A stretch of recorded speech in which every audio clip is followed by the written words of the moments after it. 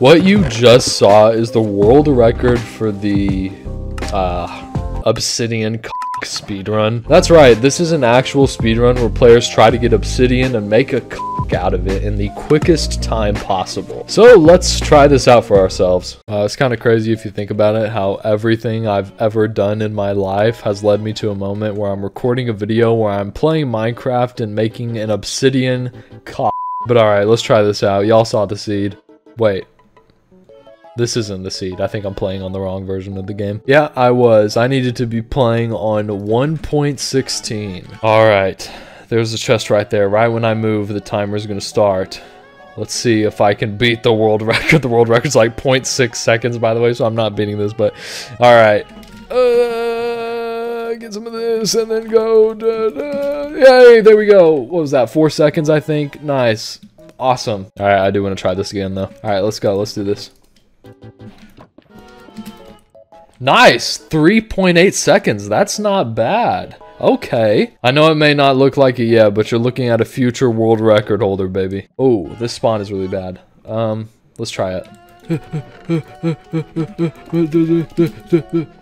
3.5 seconds. Wow. Okay.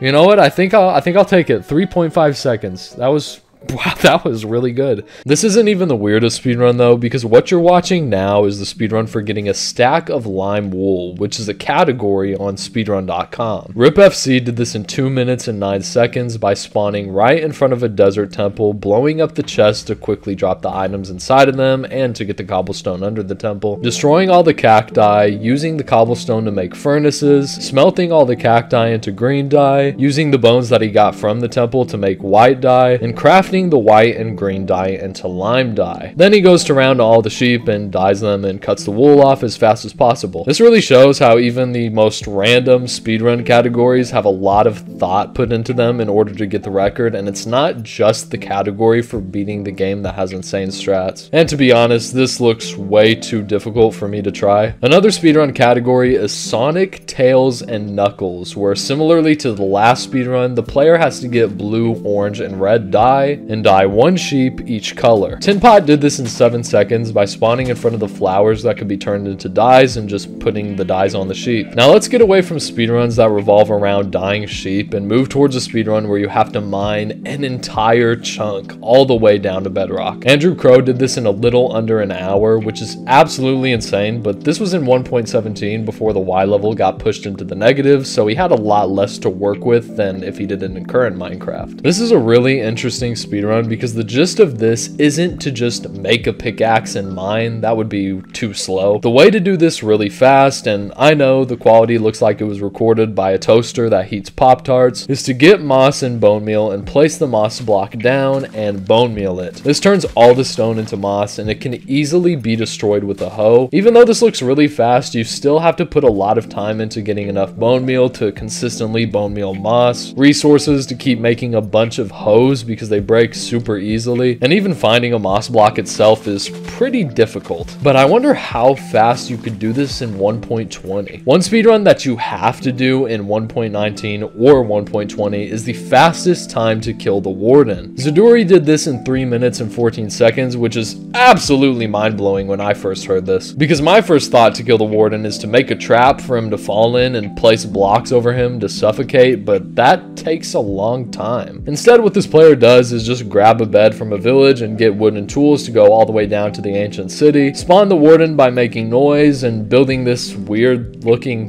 thing. Basically how this works is the warden goes here and the player just gets a bunch of critical hits on it. And when the player dies, they just respawn in the same place they were because the bed is right there. Also, I'm not gonna lie, I had no idea you could make stone tools from cobbled deepslate. So this speedrun taught me something. You know, this is actually one that I can do. Now I'm actually gonna do this on a set seed, unlike that record I was talking about that's on a random seed. I just can't be bothered to sit there for an hour and wait for seeds to, you know, do this run. But this seed is crazy because you spawn in an ancient city. So let's go ahead and do this. I'm pretty sure what you do here is you run over here, you get these two pieces of wood. And this is, like I said, just an insane scene. You run over here, activate that shulker. Yep, yep.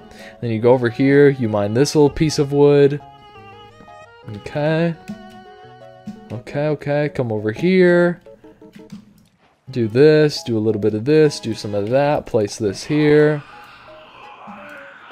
It goes off again. Mine some of this, I guess. Wait for it to go a third time. Um, come on. Third time screech, third time screech.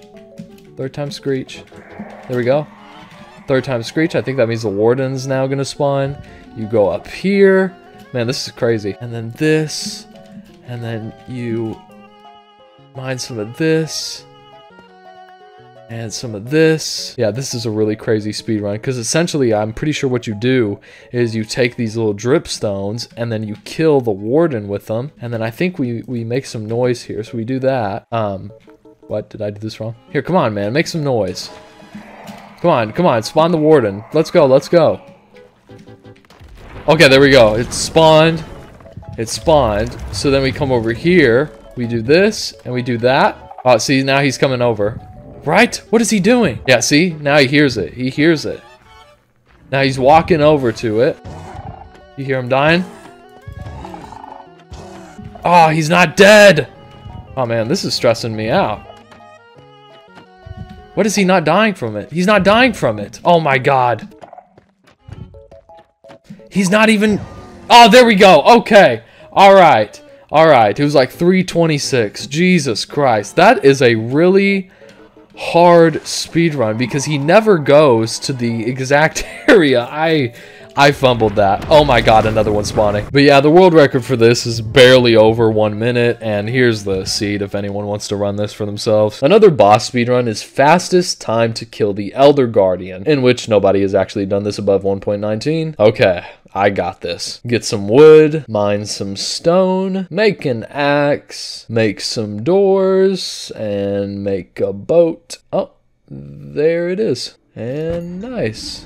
Well, guys, I got the world record now. But before 1.19, there's quite a few runs. So this player, Urki, did this in 48 seconds by spawning right next to a ruined portal with a golden axe, making a boat, finding the monument, and yeah, killing the Elder Guardian. Well, I guess I had the general idea right when I tried it. Now, the fastest time to kill the Wither... Oh, wait, they don't have anything for 1.19 either two-time world record holder right here. But before 1.19, Mathox achieved this in 17 minutes 14 seconds by getting super lucky with skull drops. Like, god dang dude, even with looting 3 it takes me years to get skulls. And he makes the wither spawn inside the bedrock roof for it to suffocate while simultaneously hitting it with a sword to deal a ton of damage. Now it's time for the big one. And no, I'm not talking about my sixth grade science teacher.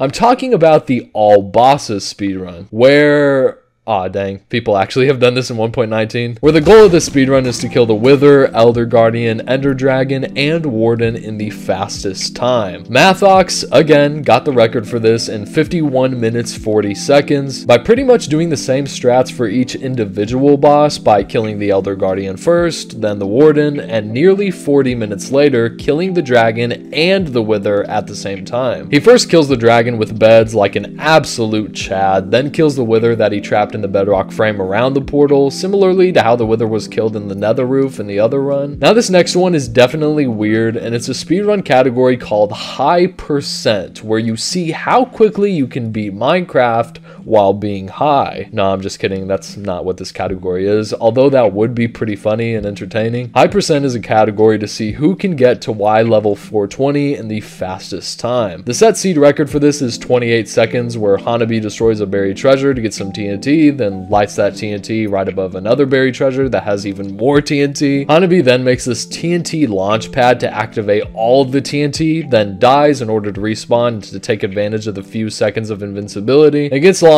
all the way to Y level 420. Let's try this out. All right, we're just gonna kind of wing it for this one. I think it's this one, right? You kind of mine to, yes, you get that, you get that and then you run over here. Like I said, I'm just winging it because I'm not sure.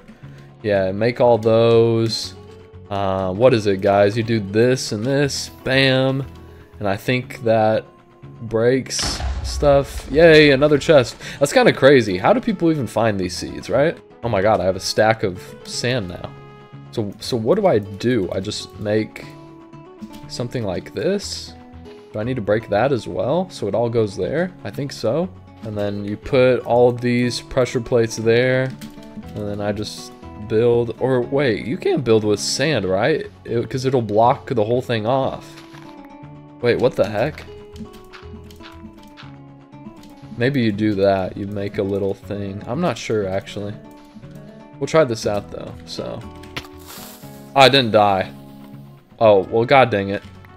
Alright, so I looked it up and I actually think I have a better understanding of it now. So yeah, you do this like before. God dang it, can't reach it. Oh my god, I'm already already doing bad on this. Okay, and then you do this, you get those pressure plates, go bam, bam, and then you mine this and this. That's what he did in the video.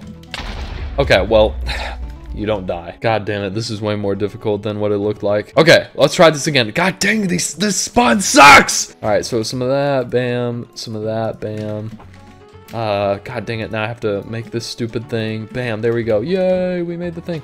All right, and then I do this, and then I mine some of that and that. Why? I don't know. And then, God dang it! Okay, come on, dude. I gotta get it right this time. Okay, so mine that, mine that. Bam, that, bam. God dang sand, to get out of my inventory. Freaking sand. Okay, uh, and then you go. Bam, bam. Mine some of that and some of that. Take a lot of damage. That's good. We need to take damage. Um, I don't know why the water isn't coming in. Man, I'm gonna freaking scream. Okay, so then you do some of that. I guess I need to do this to get the water to come in. Like, come on, water. Yay, the water's there. Okay. So then you uh, um, get some of this and then you make these things here, right? That's what happened in the video, I think. Yeah, and then you do a little bit of that and that and then that and then that. Um, and then that. Yeah, I think so. And then you make some of this. Go down here. I need to make sure the drop is big enough that it'll kill me. I think that'll kill me, right? Yeah, there we go. No! Bro, why did I spawn so far away? Alright, surely this time I'll, I'll do it. Okay, so I did all that. Oh, shoot, I actually got it. Dang it, I didn't get to 420. Okay, I got 220. Hey, hey, hey, not bad. Not bad. You know, I'm cooking a little bit with this one. Oh, god dang it, I'm not to make it in time. Shoot. That sucks. That thing really sends you flying, though. Okay. I think this is good, right? This should kill me. Yeah, let's see. Oh no, dude, you always spawn so far away. Yeah, wow, this speedrun has definitely taught me that this is really RNG because you spawn, let's see if we can find it, you spawn anywhere in this chunk, right? So yeah, either it's this one or this one. I don't know. Guys, what are spawn chunks? I don't know if it's a four or the, the first one or what. But you spawn like either right here like all the way over here or sometimes over here.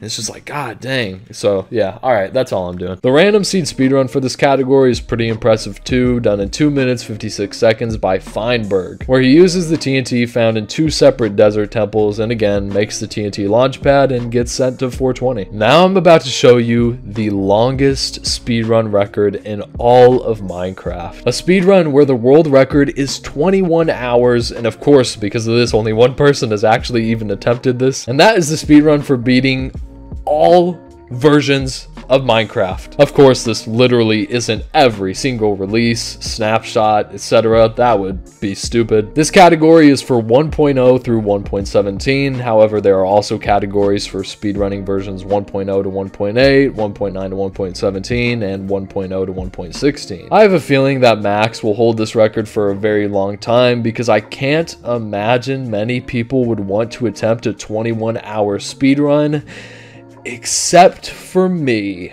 I'm just kidding, there's no way in hell I'm attempting that. But one speedrun that I have actually thought about attempting is the adventure mode speedrun, so let me show you how that's done. Okay, so with this run, you spawn here, and you have to go in the chat and actually change it to adventure. This is the only way you can get adventure, and then when you move, the timer starts. And so we have to go all the way over here, there's a village. All right, and here's the village. And then when you're here, you open this, get some of that. God dang it, I'm already messing this up.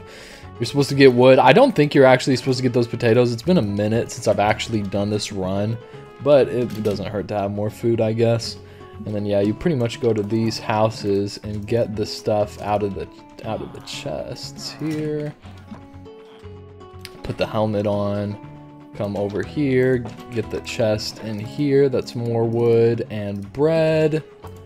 Get the chest in here, that's wood and a pumpkin pie because that's helpful. And then you run all the way up here. And this is where it gets a bit tricky. So you open this, get the pumpkin pie, cool. And then you do a little bit of this, make that, build a stack of those, and then make a ton of boats. And then you come try to find this guy that just went in the house. And hopefully he sells, yeah, so this is the incorrect one. This is the incorrect one. Um, you have a percent chance, and I'll actually show you what that looks like. Yes, this is it. Okay. So you do this, and then you make a ton of these. Awesome. That's fantastic. That is fantastic. Yeah, and then you do those, and you make a bow. Awesome. So you have a percent chance to either get that previous trade or to get this one, and then you jump in here. Oh, dang, this is actually a pretty good run. Um, and then now we're going to the stronghold. So I'm going to try to get this dolphin to give me a boost. That would be really nice of you, Dolphin. Please, if you could do that for me. Awesome, nice. So it gave me a boost. So now we have a bow and a ton of arrows. And we're using this dolphin to go now over to where the uh, end portal is. All right, and then eventually when you go, keep going past that uh, little line there that I went, you'll go here and you go all the way, you keep following this water down, and then it will come to an end. And the reason I know how to do this, by the way, is I've actually done this speed run before for fun. Uh, I have a whole video of me doing it on the second channel if y'all want to check that out. But yeah, then you go here. Um, you don't have to break the boat, but I didn't make a lot of boats, and you need boats for this speed run actually, which is pretty crazy. Um, but you just keep going straight here, and eventually, when you climb up here, you will notice this hole and then you can put a boat there, go down. Yay, you're down here now. Use that crazy trick. Um, and then uh, if I can do it right, there we go. Get that boat, and we're, well, oh, uh, oops. But after going for a while, you'll eventually make it to the stronghold. Try not to get caught in the cobwebs like an idiot like I am right now. Um, and then, yeah, you just kind of go jump over that, place that boat, and then keep going this way. And you make it to the actual portal. And then you try not to get killed. And then, yeah, the portal's already lit, obviously. This is an adventure mode speedrun. Obviously, we're going to be playing on a seed where the portal's already lit, right? And you use this trick. This is apparently only a bug that you can do in 1.16, which is why I'm playing on 1.16. But you use this little trick to place the boat on the outside edge of the block. There we go, finally. And then break that. God dang it. I have to cheat to give me boats, but you get the general idea, I'm pretty sure. God dang it, I did it again. So maybe the strat would actually be to, you know, make more boats and not a bunch of useless sticks. I haven't watched the speedrun in a minute, I'm just doing this all from memory, so. And then, yeah, you go to every single one of these and break the end crystal.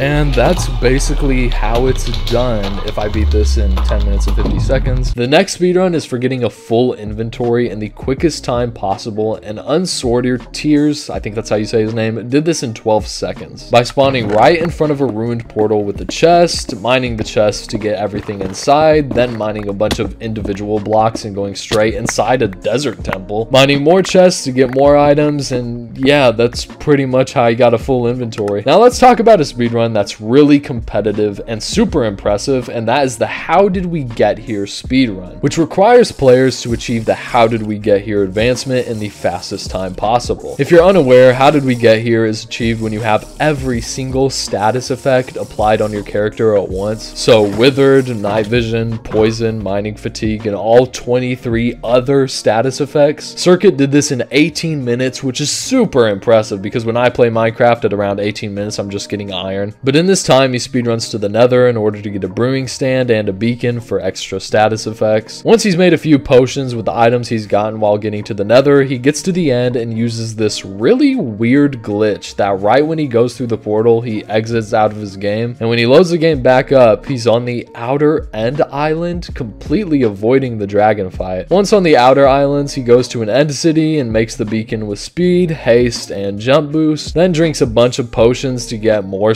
status effects, eats a pufferfish to get poisoned, gets hit by shulkers to get levitation, and gets hit by the wither to get withered. This speedrun looks like an actual nightmare to pull off. There's more weird speedruns out there, so if y'all want more, just let me know. Here's all the members on the channel right now. If you want to see your name on the next video, click that join button at the bottom and subscribe.